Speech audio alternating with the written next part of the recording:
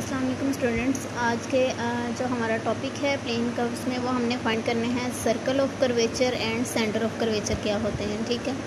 पहले इसको डिफाइन कर लेते हैं। Let P of x y be any point on the curve y is equal to f of x ये देखें, ये इस तरह से थोड़ी मेरे से टेढ़ी बन गई। ये एक कर्व है हमारे पास। Y is equal to f of x इस पर कोई एक पॉइंट है पी एक्स वाई ठीक है?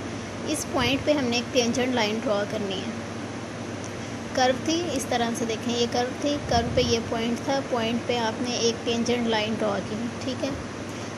एंड नॉर्मल थ्रो बी और इस पॉइंट से एक नॉर्मल लाइन ड्रॉ करेंगे मतलब एक परपेंडिकुलर ड्रॉ करेंगे, जो 90 का एंगल बना रहा होगा, ये वाला जो हमने परपेंडिकुलर ड्रॉ किया है।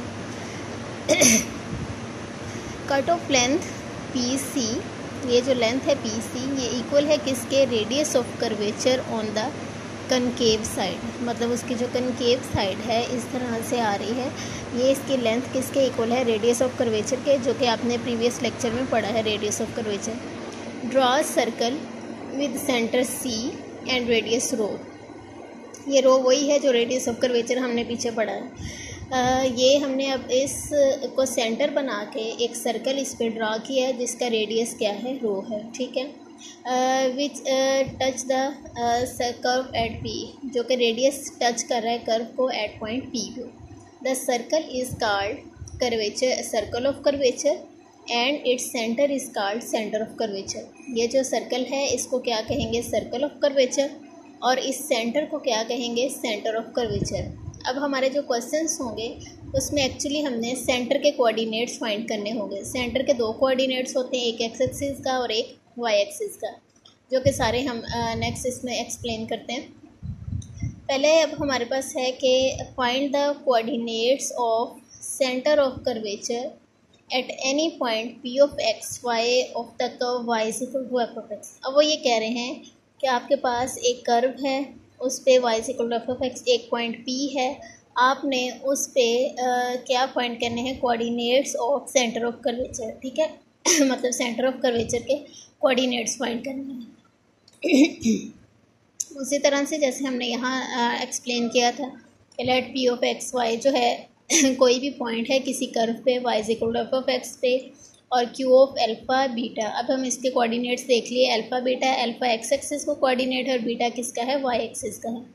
Let Q of alpha beta be the centre of curvature ये उसका क्या है? सेंटर ऑफ़ कर्वेचर है draw tangent at P P point पे हमने एक टेंजेंट लाइन ड्रा की है। ठीक है let psi be the inclination of tangent जो टेंजेंट लाइन एंगल अपना बनाती है वो क्या है?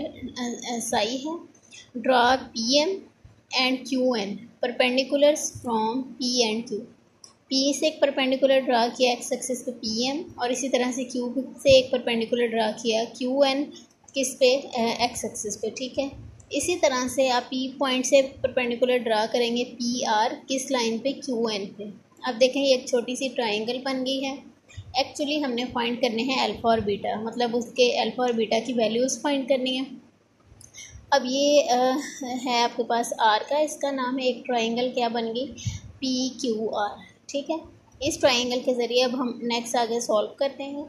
तो अगर आपने अल्फ़ा फाइंड करना है पहले फिर हमने क्या फाइंड करना है? बीटा अब इतना जो पार्ट है वो अल्फ़ा है और जो इधर से लेके ये इधर तक पार्ट है वो किसके इक्वल है? बीटा के इक्वल है। मतलब एक्स एक्सिस के लॉन्ग उसने अल्फ़ा डिस्टेंस कवर किया और वाई एक्सिस के लॉन्ग उसने बीटा डिस्टेंस कवर किया। ठीक है? अब हमने एक्चुअली अल्फ़ा और बीटा की वैल्यूज़ फाइंड करनी है। तो जो अल्फ़ा होगा ओ एन वो किसके इक्वल होगा? O M minus R P मतलब उसमें से ये इतना हिस्सा अल्फ़ा है। ठीक है? तो पूरी लाइन क्या है? एक्स एक्सिस है। ओ एम टोटल लाइन में से अगर हम इतना पोर्शन माइनस कर दें तो आपके पास अल्फ़ा बचेगा अब ये जो एम एन पोर्शन है, ये किसके इक्वल है? पी आर के इक्वल है। ठीक है? पी आर क्यों हम ले रहे हैं? हमने ट्राइंगल के ज़रिए इसको सॉल्व करेंगे। अब अल्फ़ा आप क्या लिखेंगे? जो अल्फ़ा होगा, वो किसके इक्वल होगा? ओ एन के इक्वल और ओ एन किसके इक्वल है? O M minus M N और एम एन क्या है? पी आर के इक्वल है। इसी तरह से जब आपको बीटा चाहिए तो बीटा इतना पोर्शन है। मतलब हम क्या फाइंड करेंगे? एम बी ठीक है? Sorry N Q N Q में क्या है? दो चीज़ें आ जाती N R plus R Q N R को हम कह देंगे? पी एम क्योंकि ये लाइन किसके इक्वल है? वाई के इक्वल है, ठीक है? जैसे ये पोर्शन एक्स एक्सिस के इक्वल था, ये वाई के इक्वल है। अपने एक्सिस को ट्राइंगल के ज़रिए सॉल्व किया जाएगा। देखें, इसमें हमारे पास आता है आल्सो ड्रा परपेंडिकुलर्स हमने ड्रा कर लिए हैं from P R from P on Q N अब ये ट्राइंगल को करेंगे अल्फ़ा जो मैंने पीछे आपको बताया ओ एन के इक्वल है और ओ एन किसके इक्वल है? O M minus P R अब जो ओ एम था वो एक्स के इक्वल था। अब पी आर की वैल्यू कहाँ से आई है? ये ट्राइंगल को सॉल्व करेंगे। ट्राइंगल देखें। पी क्यू आर है, ये एंगल है साई इससे साइन साई किसके इक्वल होगा?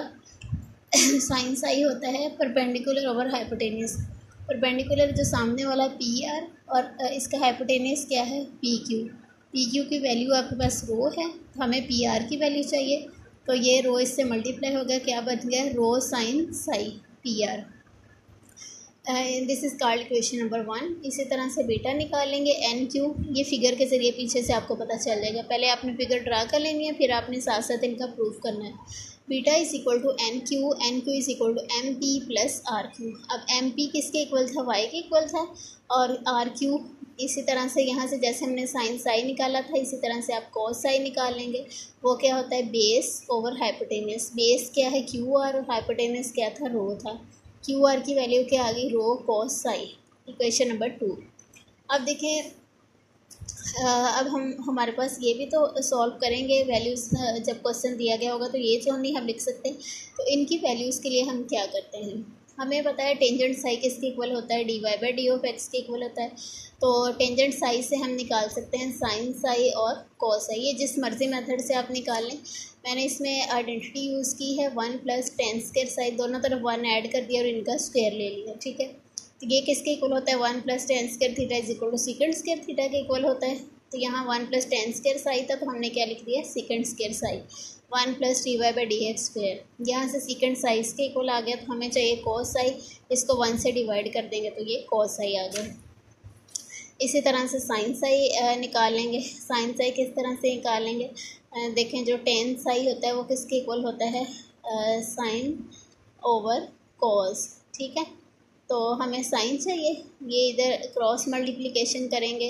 इसके नीचे वन है, दोनों मल्टीप्लाई हो जाएँगे। Tan psi dot cos psi tan psi की वैल्यू है d y by d of x और इसकी है वन ओवर दिस तो ये बन गई साइन साई की वैल्यू अब ये साइन साई और कॉस साई इन दोनों की वैल्यूज़ को आपने पुट करना है इक्वेशन नंबर वन और इक्वेशन नंबर टू में। इसके अलावा एक यहाँ चीज़ आपको नज़र आ गई होगी रो रो क्या थे? रो था रेडियस ऑफ़ कर्वेचर जो आपने पीछे पढ़ा था कार्टिशियन कोऑर्डिनेट्स में क्या होता है रेडियस ऑफ़ कर्वेचर ये वैल्यू हमने यहाँ पुट की है। ये वैल्यू पुट करेंगे। One plus d y by d x square raised by three by two over d two y over d x square और ये वैल्यू है। इनको हम करेंगे सिंप्लीफाई सिंप्लीफाई करने में ये थ्री बाई टू है, ये पावर वन बाई टू है। जब थ्री बाई टू में से ऊपर जाएगी माइनस होगी टू बाई टू और वो क्या बन जाएगा वन इसलिए इसकी पावर ख़त्म होगी d y by d of x तो एक्स किसके एल्फा किसके इक्वल आ गया? X minus d y by d x one plus d y by d x square over d two y over d x square ये आ गया हमारे पास सेंटर ऑफ़ कोऑर्डिनेट्स में फ़र्स्ट कोऑर्डिनेट एल्फा अब हम बीटा फाइंड कर लेंगे उसी तरह से वाई प्लस रो रो की वैल्यू और फिर कॉस आई की वैल्यू इनको सिंप्लीफाई करेंगे तो ये इसके इक्वल आ जाएगा। तो इसका मतलब है जब भी आपने सेंटर ऑफ़ कोऑर्डिनेट्स फाइंड करने होंगे, आपको ये दोनों फॉर्मूलाज फिंगर टिप्स पे याद होंगे तो आप इनको पॉइंट कर सकते हैं। ये थोड़ा सा इसमें एक चेंज है। यहाँ माइनस है, यहाँ प्लस है और इसमें एक नहीं, एक चीज़ मल्टीप्लाई हो रही है d y by d x और यहाँ कुछ भी मल्टीप्लाई नहीं हो रहा। तो अल्फ़ा किसके इक्वल होता है? X minus d y by d x one plus d y by d x square divided by d two y over d x square और वाई किसके बीटा किसके इक्वल है? Y plus one plus d y by d x square over d two y over d x square.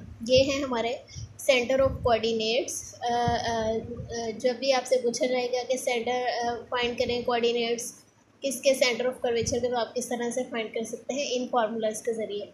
और जब question आ जाएगा जिस भी type का होगा तो हमें उसमें फ़र्स्ट डेरिवेटिव और सेकेंड डेरिवेटिव चाहिए होंगे। और हमें फार्मूलाज याद होने चाहिए तो आप इसमें सब्सिट्यूट करेंगे तो आपके पास जो है सेंटर ऑफ़ कर्वेचर आ जाएगा।